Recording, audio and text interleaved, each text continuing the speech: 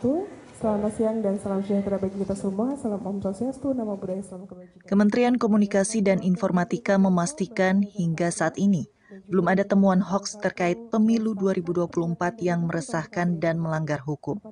Hal tersebut diungkapkan Menteri Kominfo Budi Aris Setiadi dalam konferensi pers di Jakarta Jumat 19 Januari.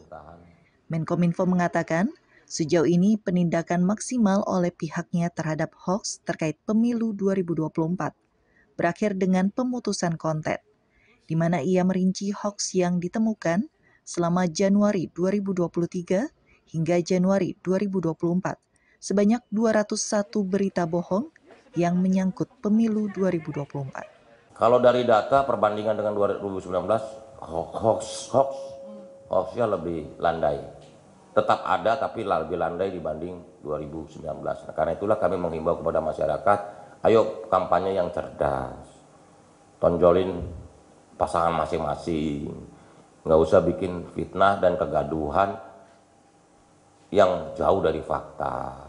Itu.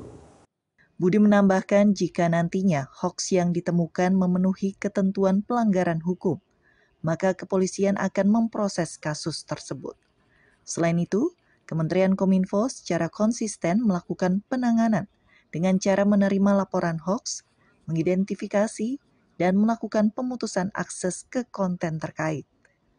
Dari Jakarta, Pradana Putra Tampi, Kantor Berita Antara mewartakan.